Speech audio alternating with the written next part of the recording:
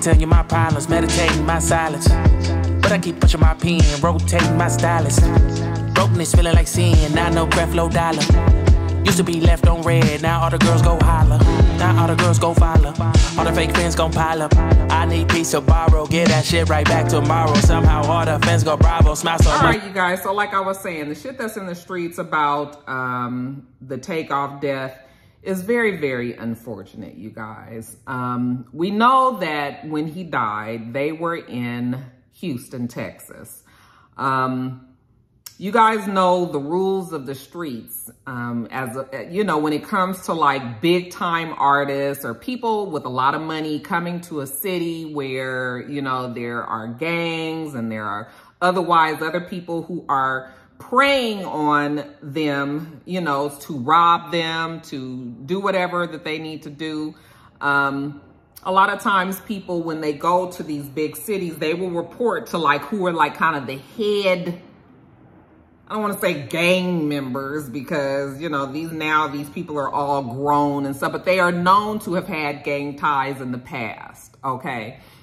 I'm assuming in Houston, J. Prince and his people were the ones um, that you would go to to like let them know you coming, kind of checking in, making sure you kind of have protection, making sure you don't go in the wrong areas, making making sure people don't try to jack you Okay, it's the same when you go to LA. I mean, you check in with, you know, it sounds silly to people who are not from the streets or from people who are not in that world, but it's a very real thing. Okay, I'm assuming you go to Chicago, there's some people there that you check in with, and you go to New York, there's some folks there that you check in with. Here in Atlanta, there's people that you, so I would, you know, it's just a known thing.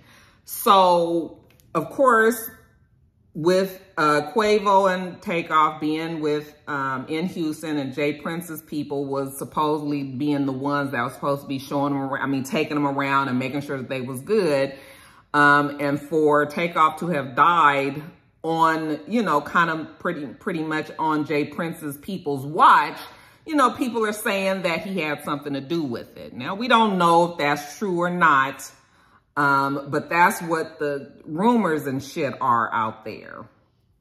Um, and it was hot. Like the, the story was big when it first happened, when Takeoff was first killed.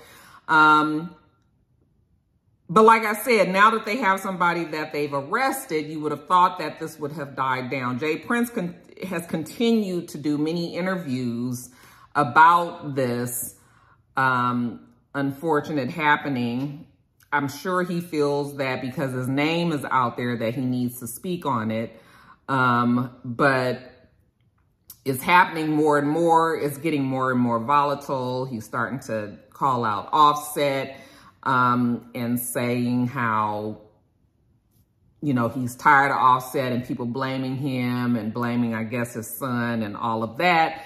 Um, and he's he's done many interviews about it. Finally, Offset did do a video responding to him you know, basically saying that he hasn't even really said anything and that has been, um, you know, it's been J. Prince who's been the one that's been doing interview after interview talking about this, you know, and you hadn't even had thought about the family, thought about Takeoff's mom, you know, like this stuff is just not dying down. Okay, as you continue to do more and more interviews, it gets messier and messier because we have more and more people weighing in on either sides. And it's just like, can we just please let Takeoff rest in peace? And can we try to try the person that they've arrested? And if he is the one that's guilty, put him in jail and can we just move on? But you guys know a lot of times when streets are involved, it's a whole lot of other shit that's happening, again, behind the scenes that we're not privy to. But Offset has responded to J. Prince, and then he had to come back with his I Have a Dream speech. I was like, did he write that down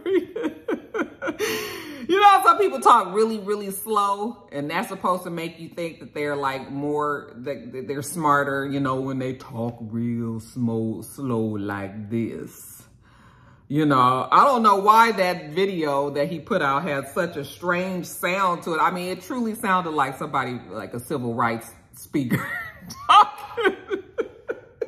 but anyway, you know, he's responded back to Offset and, you know, talking about how Offset then forgot who he was and how he protected him in LA and he protected him when he got his ass beat out here in Atlanta and all of this. And Offset was just like, I don't know what you're talking about. Cardi then jumped in and said, no, that's not true. When she went to LA, you know, she met up with your Big U and your um, Wack 100. You know, those are the ones that the, like the the go the big time Crip and Blood that's out there. You check in with them, you know. I don't know why J. Prince would have anything to do with what was going on in LA, honestly. You know, you have your people out there in LA. Child, I can't even. it's so much. It's so much, you guys. But but what I'm saying is, I just really wish that everybody would just kind of let it go. Okay. Let's try to get some healing happening. Let's try to make sure we hold the people responsible and then let's let's try to move forward. And then hopefully, like I said, Offset and, and um, Quavo can fix their problems as well. It's just so many things that's compounded on top of each other. Y'all see like this? Y'all remember that dance? There's so many things that's compounded on top of each other that it just can, it never seems to go away. It's just not going away. And it's too bad. Because at the end of the day, everybody is sad that Takeoff is dead, you know? So, um, that's, that's what's happening over there. But I, I just, that, that thing with, the thing with J. Prince is like, I remember hearing about him before we would see him a lot you know, I remember hearing about him and I would hear that people say, oh, he's a big time music legend in Houston and all of that. And I respected him as that because that's what you guys was telling me. Like he was very big in the music world in Houston and all of that. And it kind of seems like him continuing to go on social media kind of, it kind of like, it tarnishes your legendary status because then it just seems like you, why are you on social media with this? Like you should be too big for this. You know, you should, if this is really something, maybe it's something that you could handle off of social media. Because when you get on social media, you got all of these other people that's going to start weighing in as well. And it's just, I don't know, it's just not a good look to me. It's not a good look. You don't see the other legends of LA, New York, Chicago, my, uh, Florida, you know, Miami. You don't see all them doing these, whoever these big names would be. You don't see them going to social media and doing that. So it's just kind of strange. It's kind of strange, you guys. Um, I understand wanting to defend yourself and wanting to clarify, but to keep doing it over and over and over, you see what I'm saying? It just seems like it just kind of tarnishes uh, you know, the respect that people used to have for you. So that's all I'm saying. But I mean, the man can do what he want to do. I mean, it's clear that's what he is doing. But yeah, I just don't know. It's not a, it's not a good look. It's not a good look. But uh, yeah, you guys, that, that's it. What's going on there? I'm sure there will be more and more. It's getting to be very, very messy, and I'm hoping that this doesn't end in a bad way as well. We don't need anybody else dead on either side. Like we want to live. I want to see my black men out there make it. And um, I, I don't want to see any violence out of this back and forth either. So that's it, you guys. Let me let me move on to the next story. To hide my sorrow, faith is shaky and vibrato. I can't hold a frown too long. All right, you guys, Renaissance tour updates. I already told you guys about the whole suite situation, how my book club was trying to get a suite. We ended up not doing it, but that is a great option. Did you guys get your tickets? I actually asked on Twitter if you guys were able to get your tickets. And many of you guys, at least the ones that answered my question, were able to get their tickets. Now, there were other people that were waitlisted, and this is where the confusion comes in. Because, child, I thought everybody was getting a damn ticket that had signed up the other day. I thought they was getting their tickets on Monday. Turns out, nope, that's not what happened. Some people I guess they gave a code. Some people got the code to go get their tickets and then other people were waitlisted.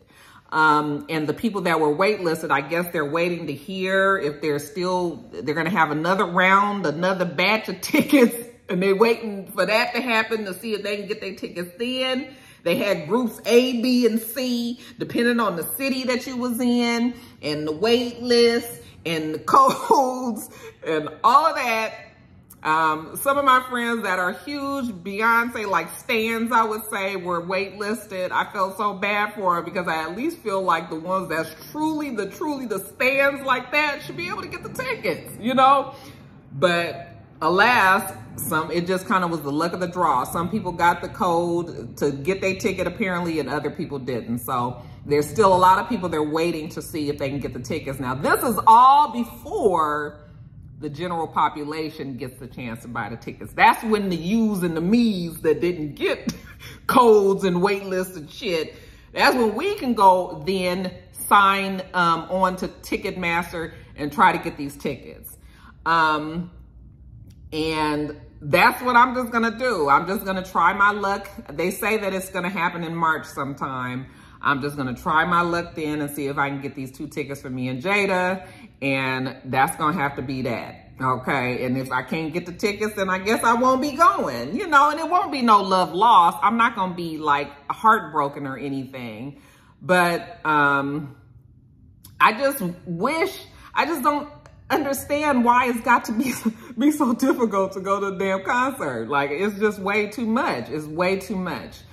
Um, and I think, I wish there was a way that they can just keep resellers, not individual resellers that might buy a ticket and just decide to sell their ticket. I'm talking about the resellers that can buy a big batch of tickets and then hype up the hike up the, the price super high to thousands of dollars and resell. I wish there was a way to just get rid of them. I don't know how they would do it, but I wish that there was a way. I know that with the wait list and the codes and shit, that that was their way of trying to do that, but there's still some resellers that was able to get the tickets from what I understand. Because I've seen people trying to sell tickets for 9000 and 6000 You guys are killing me. But yeah, I mean, it happens. So, and that, that's too bad, but y'all have to let me know if you got your tickets. I'm excited for you guys, you know? Um, but I really do feel like those that are like the extreme fan, I mean, it would be a shame if they wouldn't be able to get to the get to that concert. Like I, I can go or I can not go. It's not gonna, it's not gonna make or break me or Jada. But you know, I, I do feel bad for those of you guys that are just like the ones that's doing everything Beyonce related and then can't get to the damn concert. She ain't had it in six years. You know, yeah, that's too bad. Um, also, let's talk about Ivy Park, y'all.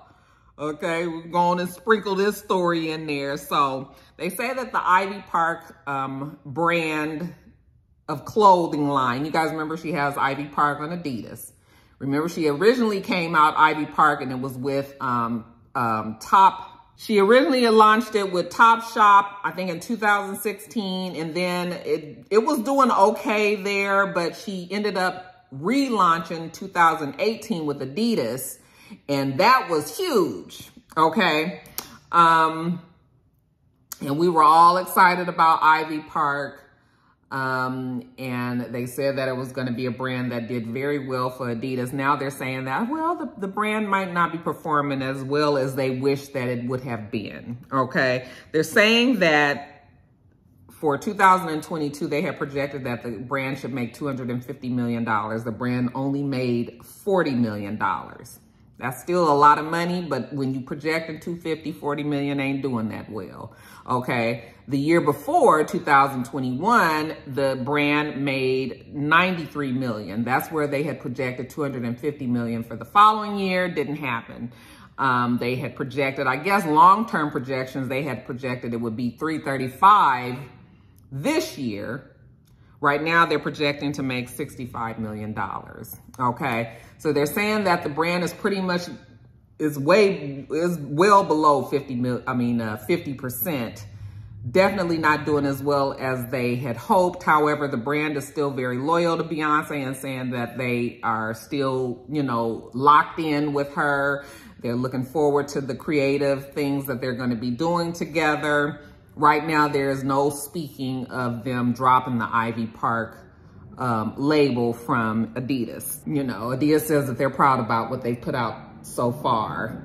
the Ivy Park brand, I mean, the, the items, they have some very cute things. They have had some very cute things, but I think in general, the look of the Ivy Park stuff has not been that appealing to the average consumer. Okay, I've always said that Beyonce looks phenomenal in Ivy Park. Okay, every time they do another drop, all of the, every single picture that they put out there is beautiful. The stuff looks great and everything. I am wondering who is buying it though. Okay, I ain't seen nobody in that cow print thing that she had put out. Actually thought it was kind of cute, but I didn't see nobody wearing that. You know, she's had a bunch of drops that haven't done well. Like the first one, I think was the burgundy and orange or the burgundy and yellow. That did well, but then with each other drop that's happened, it just hasn't performed the way that it was. And yeah, I'm just like, who is wearing her stuff? Okay. I mean, some people are buying it, but definitely not at the rate that they thought people would be buying it. So y'all have to let me know if you guys are buying Beyonce stuff. Um, we all know, now y'all know I love Beyonce. I just told y'all and gave her all the accolades. Shout out to Nene. But fashion might not necessarily be her bag. And that's okay, you guys. That's okay. That is okay. Because her bag is music. All right. That girl is creative when it gets time to be in the studio, when it's time to be on the stage. Okay. That's where she lives. Fashion just might not be her thing. And that's okay. Okay, she's tried it a few times and, um, or maybe she could just get some other people on her creative team that can help her, you know, help guide it into another direction so that it then will turn out to be more lucrative and successful for Adidas. I mean, it could happen. It could happen. I mean, I'm sure she got the money to put whoever she need to put in place and make it happen. But yeah, y'all, y'all ain't buying that Ivy Park. y'all just go on and say it. Y'all can just go on and say it. But that's what they saying, child. It ain't doing as well. Um, but Adidas says, so what? We is in this for the long haul.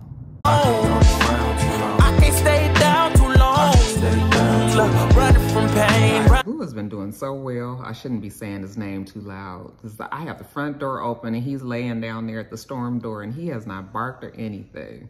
He's being a good boy for me today. I'm gonna have to make sure I give him a snack.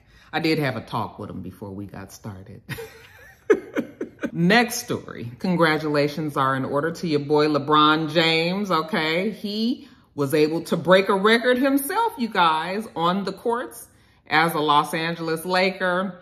Um, he actually surpassed the um, most scores. Let's see, what what is, let me make sure I get it. He is NBA's top all-time scorer. Okay. Now, previously, Kareem Abdul-Jabbar has held that record. Um, he had 38,387 points. And LeBron, of course, was projected to do that in this last game. He did after a 14-foot uh, fall-away jumper that made it. Um, he now is the highest scorer at 38,388 points. Okay, when it happened, it was a whole bunch of fanfare. Uh, they stopped the game for about 10 minutes, you know, as everybody celebrated. We even had uh, Kareem Abdul-Jabbar actually come out onto the um, court and hand the ball over to him, like in a gesture of like kind of like passing the, you know, passing the baton. Now LeBron is that person and good for him. Okay. It's so funny that LeBron continues to break records and do so well and the Lakers just doesn't. and you guys, I can talk about the Lakers because they are my team. Okay. But if you was just following LeBron, you would think that the Lakers was just doing awesome. All right. If you were just following his social media, you would think that they were doing awesome because LeBron continues to do very well, but the Lakers, not so much. Child, not so much. But hell, even in that game, they ended up losing. They were playing Oklahoma City um, Thunder.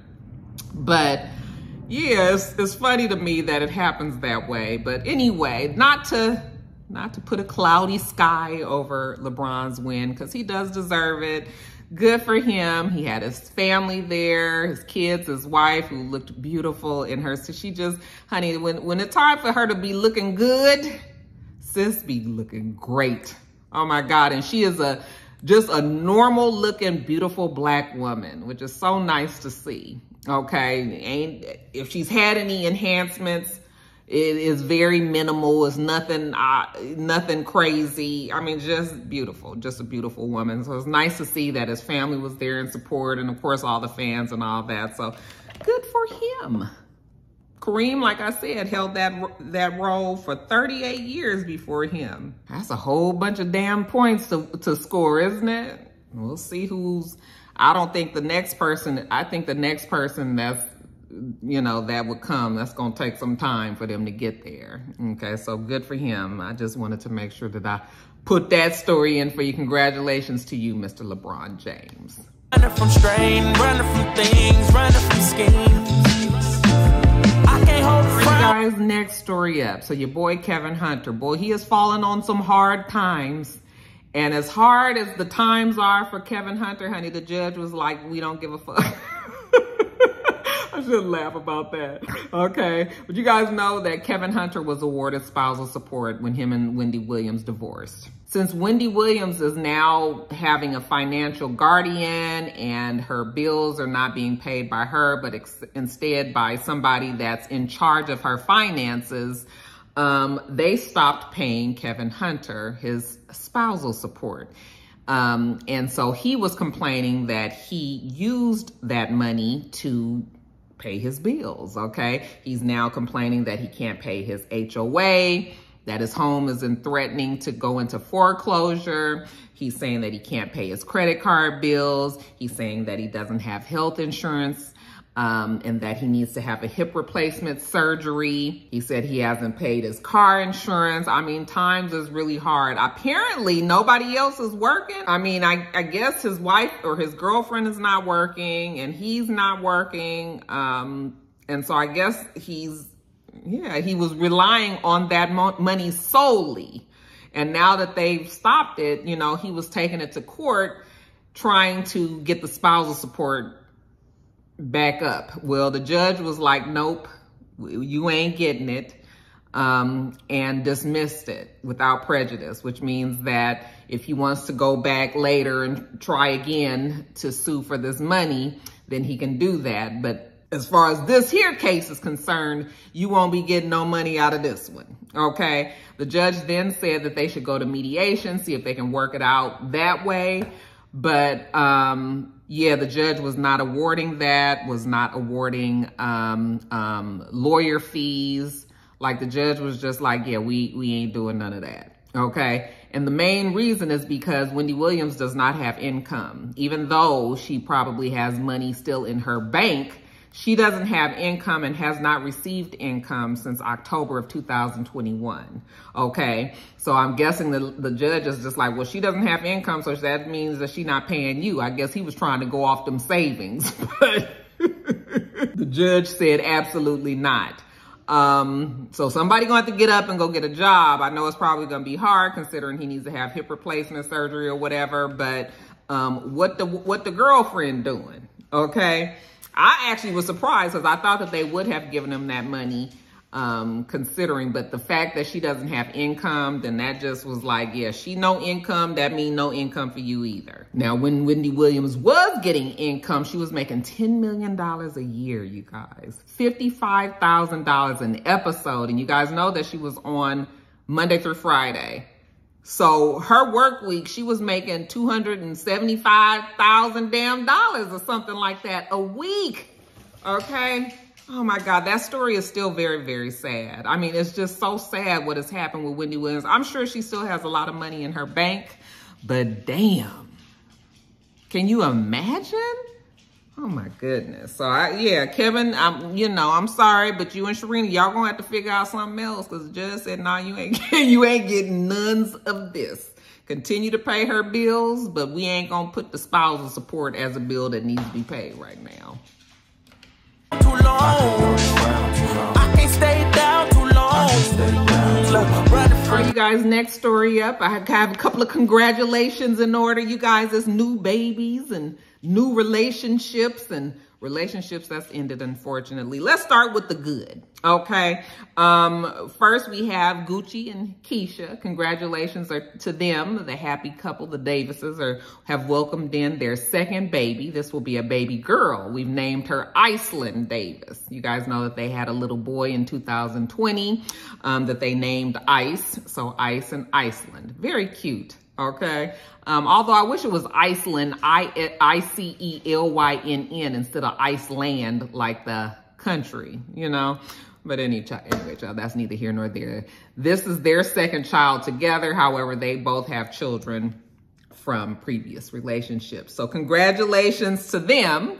Um, we also found out today that Naturi Naughton of Power fame and her husband, Two Lewis, okay, the number two, TWO Lewis. Um, they are expecting their first child together. You guys know that they just recently got married and um, now they're expecting their first baby together. And she is pregnant, pregnant. So she's kept that under wraps. But you know, y'all put out the required picture of the stomach out with the man, you know, holding on to the stomach. You know, we've got a couple of those that have surfaced. So she looks like she's, if she ain't in that third trimester, she's close, okay? So, um, yeah, this will be their first child together. She has a child, uh, five-year-old child, Zuri, from a previous relationship. I'm not sure if Two has any ki kids, but this will be their first together. So congratulations to them. And then you guys, I, I mean, this seems like not the right place to throw this in, but I don't know where else to put it. Um, but uh, Fallon, Falynn and her husband, um, Jaylan, you guys know Fallon was the one that was married to oh boy Simon that Porsha ended up stealing and getting married to. Well, now Fallon had married Jaylan, who I was always wondering about that relationship because he seemed very childlike. He seemed very, he seemed like I don't want to say it, y'all. but maybe if you think real hard, you would know what I was going to say. And so uh, their relationship just seemed very strange to me. It just seemed like it was something that she needed to do because, you know, her man had gotten stolen. And so she was just like, well, that's okay because I got me a new man too. But now you guys, they're reporting that they, even though they still love each other very much, okay, that um, they have decided that they're going to break up. I was like, now, if y'all be loving each other so much, what the fuck you getting divorced for? Okay, just work that shit out. But I guess sometimes love is not all it takes to make a relationship work. Okay, I mean, I do know that. Some days you don't even love the niggas no more, you know, but you, you made the commitment, so you're going to have to work it out, try to get back to love the best way you can. but, um, yeah, y'all. So she say that she can't do it no more, and he say he can't no more. And you know, we just recently found out that they had a miscarriage. That was actually very sad. Um, they did already have. She already had one child, but she was pregnant for a second time for him, and uh, it didn't work.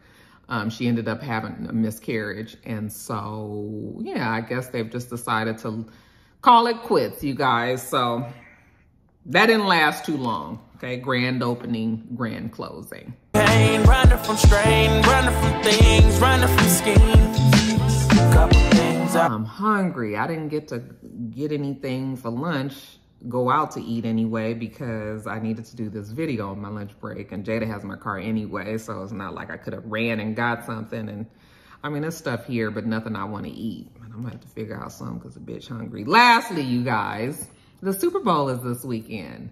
Okay, y'all know I don't know shit about football, but I do enjoy Super uh, Bowl festivities. I love me a good Super Bowl party. I love me the Super Bowl foods. I love to see the Super Bowl commercials. I made it a point actually to not see any of the commercials because they usually put them on social media before. It was just like, what's the purpose of having the commercials if you're already showing them ahead of time? That's all the fun in watching the Super Bowl is watching the commercials, you know? So I haven't seen any of the commercials. So at least I have something to look forward to. And of course, I am going to be tuning in to the halftime show uh, that Rihanna will be giving. Did I say who's even going to be in the damn Super Bowl? so it'll be the Philadelphia Eagles versus, I believe this is Kansas City Chiefs. I only have Chiefs versus Eagles. Um, I thought they changed the name.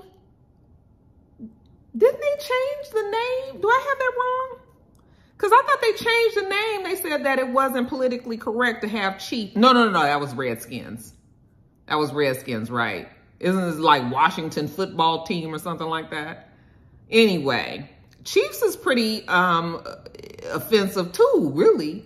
I mean, I guess if we're to get into it, the Braves ain't really that, that's kind of offensive as well when you see the mask, not the mascot, but the, yeah, the mascot on their, their jersey. Anyway, yeah, I'm getting off track. So yeah, I think it's Kansas City Chiefs and the um, Philadelphia Eagles will be playing in the Super Bowl. That will be on Sunday. Let me tell you what they got lined up for entertainment. We have Sheryl Lee Ralph. Okay, she's to be doing um, uh, Lift Every Voice and Sing Till Earth and Heaven Ring, Ring of the Harmonies of Liberty. Y'all, I could sing the whole thing, but I won't. Okay, but she gonna sound just like that. she is gonna be singing that uh, pre-show. We also have Babyface. Babyface is going to be singing what did I say he was going to be singing? Oh, beautiful for spacious skies, for amber waves of grain, for purple mountain majesties above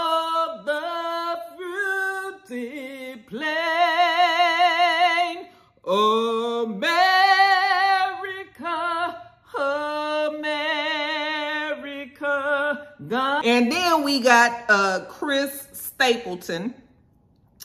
Chris Stapleton and Troy Kotsur. They're going to be singing, Oh, say, can you see by the dawn's early light what so proudly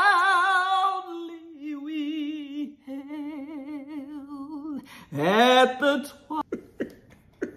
bitch just wanted to say it, y'all. Uh, that's all before the show. And then, of course, we know that Rihanna will be singing, um, performing in the halftime show. As of now, it's just Rihanna. I'm sure she probably will have some special guests up there with her, but they haven't announced who those special guests might be. I'm thinking maybe we can get an umbrella with Jay-Z.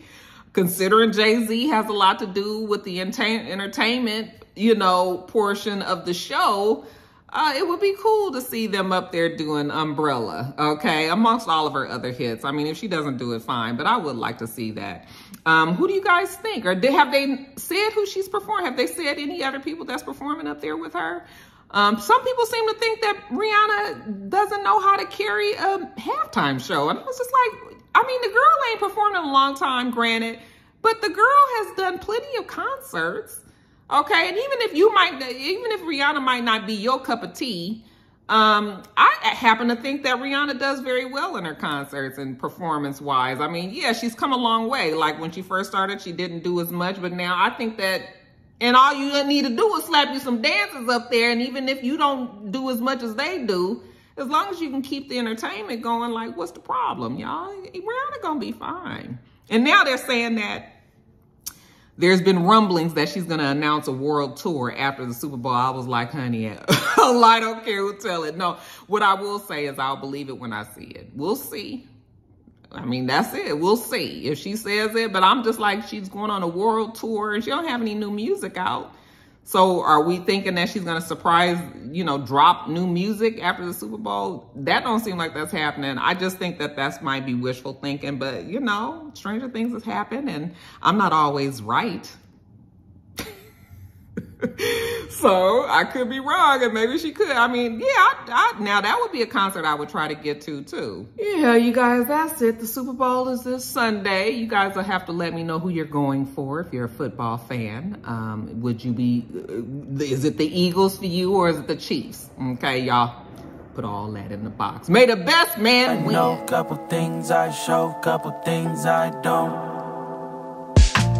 I can tell you my problems.